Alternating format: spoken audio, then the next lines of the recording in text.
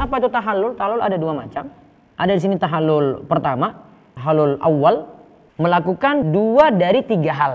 Yaitu tawaf, halak atau taksir. Halak tadi mengundul habis. Taksir itu minimal tiga helai rambut kalau dalam madhab. Nah, kemudian melempar jumrah akobah. Mana yang dia lakukan ketika sudah melakukan dua dari tiga hal ini, maka dihalalkan segala sesuatu kecuali hal yang berkaitan dengan wanita. Berarti setelah dia lakukan dua dari tiga tadi, dia sudah boleh pakai pakaian bebas. Tidak lagi pakai kain ihram. Sudah boleh mandi dengan wangi-wangian. Yang tidak boleh apa? Yang terkait dengan wanita saja apa? Jima, mubasyarah, akad nikah.